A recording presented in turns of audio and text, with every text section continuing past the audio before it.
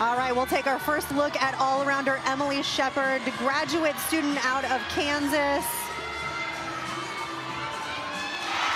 Nicely done. Yurchenko full. Almost looked like she was a little high on the table, but was still able to get that block off.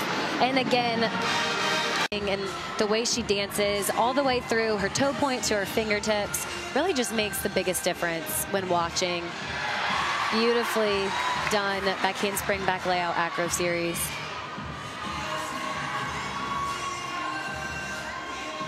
Just a, such a solid ball. It was perfectly straight. No problems there.